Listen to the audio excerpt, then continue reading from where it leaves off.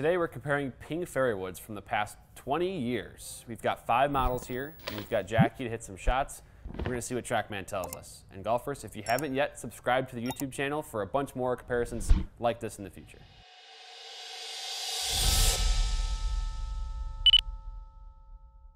Hey golfers, I'm Drew Mahowald of Second Swing Golf. Today I'm joined by Jackie Johnson, Master Club Fitter here at Second Swing Minnetonka. Today we're in the tour van and we've got five Ping fairway woods. Um, because of our huge selection of clubs, we've, we'd be able to go back 20 years in Ping fairway woods. We've got a G5 and also we've got the brand new G425 and then three models in between there. And we're going to just test and see what TrackMan tells us about Ping fairway woods over the years. So Jackie, you're familiar with Ping fairway woods. You're familiar with Ping the brand. Um, what do you think? Well, what have you seen from Ping over the years, and what do you think we'll see in the test today? Yeah, I mean, Ping has always been known for their forgiveness. Uh, there's no secret to that. Right. So I think, you know, there's going to be the dispersion circles will definitely be tight, Mm-hmm. uh, but also I think from you know the G5 all the way up to the G425, going to be some huge difference in ball speed. Uh, I remember when my dad had the G5, and Mm-hmm. so it'll be fun to just hit it and kind of see what it felt like compared to right, what, the what he was brings. playing back in the day. Yeah, Yeah. it's certainly different. I mean, you can just look right now and look at the how the head is shaped, and it's just totally different. So um, we've got kind of the regular flex stock shafts, which Yep. with each of them, and this is 15 degree three woods. I believe Ping's uh, G425 might be 14 and a half. Uh, 14 and a half to 15. 15. Yep. So a little bit of variation there, but regardless, we've got three woods to test today. Regular flex stock shafts. Jackie, you ready to hit some shots here today? Yeah, let's go. This grip is like very slippery, but that'll do. That's good.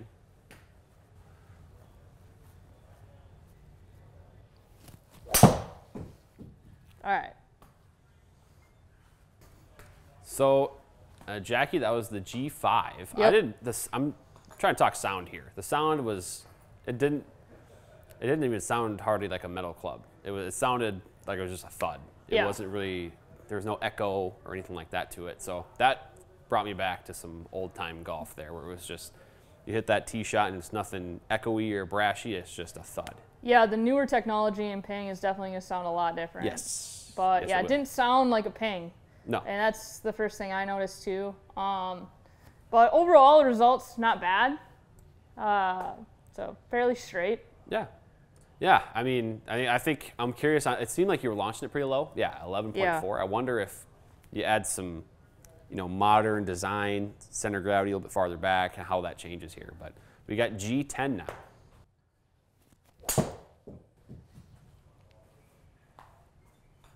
I'm to say uh, off the toe a little bit there. That was a good ball. A lot of spin there. Two of them in a row. Some decent spin. Yeah. Eh, That my drop spin. Yeah, that's good. yeah. So the G10, any any difference between G5 and G10, Jackie? Yeah, G10 definitely felt better. Um, even I didn't hit it particularly great on any of those, but it still like absorbed it a little bit better than the G5. So definitely seeing the technology get a little bit more forgiving as we Sure. go up. So I also noticed we did already see a little bit of that launch improve a little bit on you. Um, spin went up as well, so that actually added carry distance for you, but also total distance went down. So a couple of things to note. I mean, that yeah, you were hitting that G5 45 feet in the air. So yeah, this has a little bit more loft too. Just to note, 15 and a half. So oh, it is okay. Yeah, that might play a factor here. Okay, that is Um, worth noting. But I think, I mean, I, I've seen you hit three woods before. and you- Yeah. And 45 feet is pretty low. So I think there is something Yeah. to the center of gravity in the G5 being very forward compared to some of these we're going to hit. But I think we saw that difference start to emerge here already. But how about moving on to G30?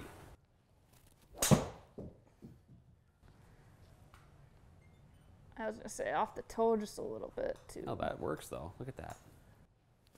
There we go.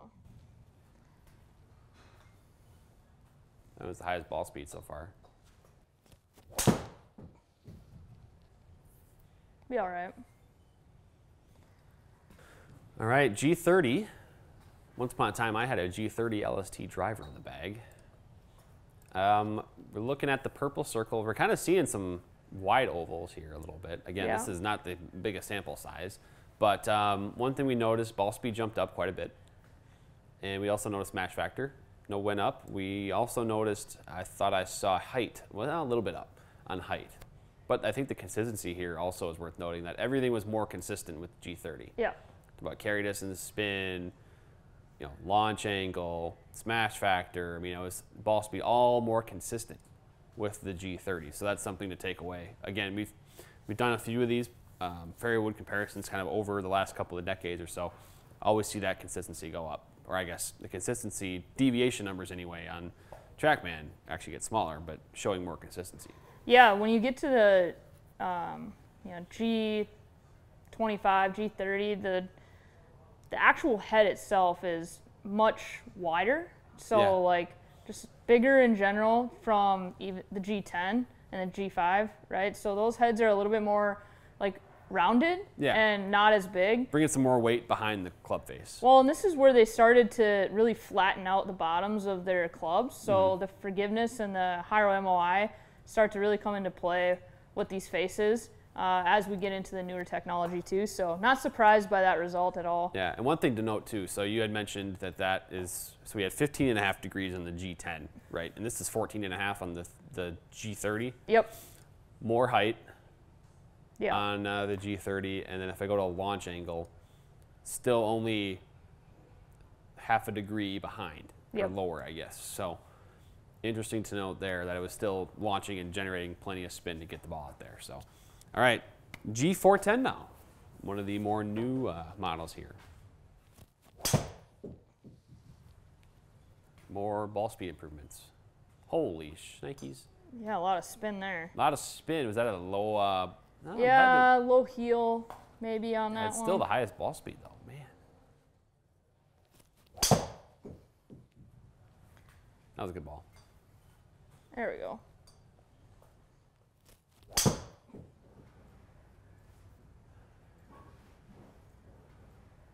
So G410, Jackie. Uh, one thing I didn't even ask you about the G30 was the turbulators on the crown. Yeah. Uh, do you are you a fan of those, and do you notice them a lot, or is that is it kind of secondary? No, I mean the matte black kind of. I like the matte black. Yeah. I, I like the look of them for sure. They look, they look cool. You know, um, like a spaceship. I don't know. I mean there is But- a little bit of that element to it. But yeah, I mean, um, yeah, they definitely once they got to the G30, they started to um, use those turbulators and you know the matte black and Yeah, you saw that with G and, mhm, and Yeah. G400. Um, another increase again, ball speed up to 125 now at G410. And uh, distance also 188 carry, which you've already gained now back to G5 and G10. You've gained 15 carry yards. And the height is still staying there, so you're not losing any of that. Yep.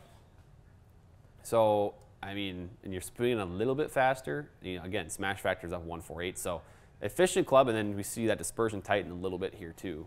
So, All right. good numbers from G410. Now we get to the newest of the new from Ping, G425 Max. That just sounds so loud. That is smoked. Yeah, that one felt good.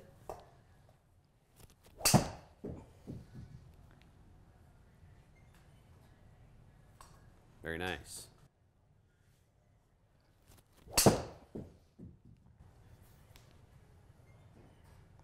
Well, you had a little bit of a left tendency here, Jackie, with the G425 Max. Which we know, me and Ping tend to go. That's true. You have said that before in, Yeah. in videos. Um, but let's look at this information here. Another slight increase in ball speed. Again, I mean, G410 to G425 Max is just one generation. Yeah. So, in theory, you shouldn't see a ton of difference um, between them.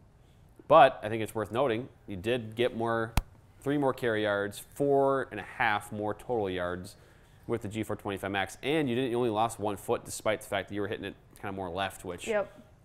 usually kind of means you drop some height on that thing. But uh, give me your thoughts on that feel and also how that looks, kind of because they then removed the turbulators from the fairway woods and G425. Yeah, I, I personally like the G425 look the best out of all the models. Mm-hmm. Just because I mean, it's just more sleek, personally. Um, but yeah, the feel of it. The, well, first of all, the sound is actually like noticeably different. Yeah. It's definitely got like this very loud pop to Mm-hmm. it, but the feel is, I mean, out of all the other models, the best.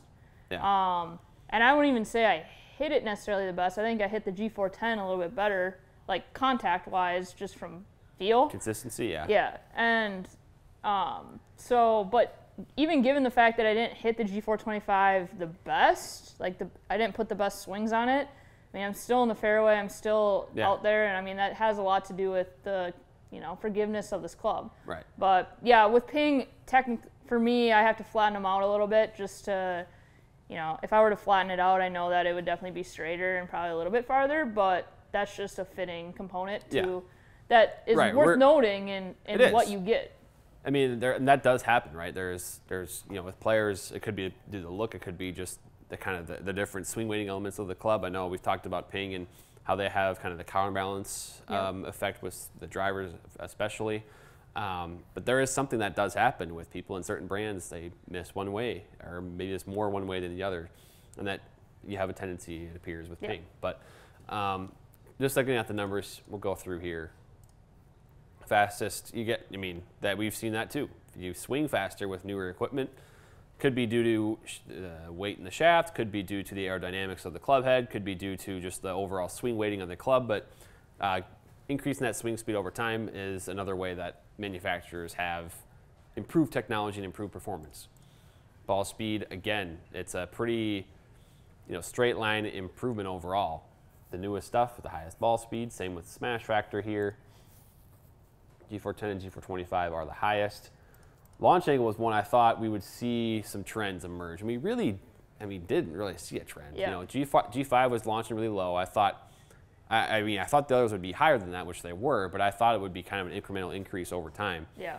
And part of that could be the fact that G10 did have 15 and a half degrees aloft, whereas the others were uh, actually after that were 14 and a half. Well, and you know, with the other clubs, I was definitely going more left, so that has a factor in the launch Sure. angle for sure. So, you know, I was hitting. If you go Mm-hmm. back to the dispersion circle, um, that's not Spurs circle. That's Spurs circle. if you go back to that, yeah, I mean, the G, technically G5, G10, I was hitting probably the straightest.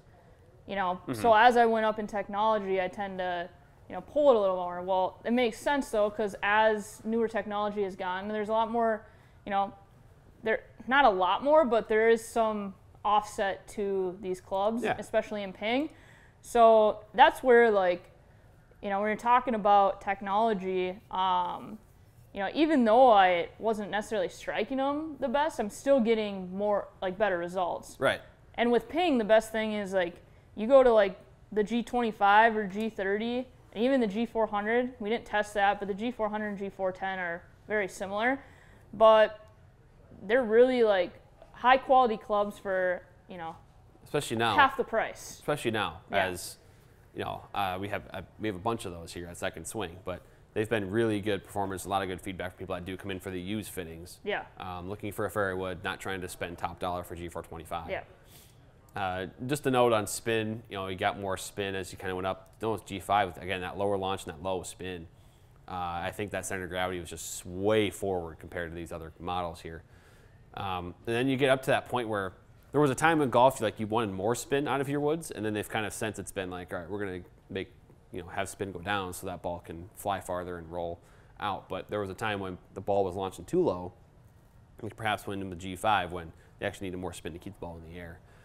Um, and then carry distance, you actually gained basically almost 18 yards with just you know hitting three woods here, and then total, you know, gained 13 yards. So some big gains here over the years from ping, which again we do this every time we see the same thing. It's going to be, you know, 10 to 20 more yards. Yeah. Um, if uh, if you give you know over 15 to 20 years of technology, you gain that much distance. Um, even though height really didn't change at all here, besides the G5. Yeah. So I mean, Ping's always they've done some great stuff. Now they got spin consistency on that G425 series fairway woods. They've kind of modified the face a little bit to improve those low strikes, which is another key element of fairway woods. But uh, obviously, really good stuff here from Ping. And again, like you said right at the beginning, they've always been a leader in forgiveness with golf clubs. Yeah, for sure. I would say, you know, especially in 2021, the leader in fairway woods and Ping is up there, if not the top Yeah. one. I mean, it just you get a lot of forgiveness, especially if you're a mid to higher handicap uh, and need a good fairway wood and struggle with the fairway woods. Ping is always going to be a go-to for us as fitters, just Mm-hmm. because of the you know the results we see from them. I Right. mean, they, they speak for themselves and they, they show that result uh, in here and on the golf course. So uh, Ping is a great option if you're looking to hit more fairways and, and hit more greens. It's going to be one of the best. Yeah, I, I agree. And I mean, I got G425 LST in my bag, and I've loved it this year. So um, I can attest to that. But golfers, if you are in the market for a new fairway wood, a new three wood, uh, any of these ping options would be pretty darn good. Obviously, price wise, they're going to vary, and performance wise, they're going to vary, as we saw here today. But whatever works best for you and your budget, we can help you get set up with the right fit, the right shaft, the right lie angle here at Second Swing, whether it's in store or whether you talk to one of our um, online fitting and support team members. So, Jackie, thank you for joining today, providing us with your insight and with uh, all the data up there. Um, you know, I think golfers really like this one. Yeah, thanks for having me.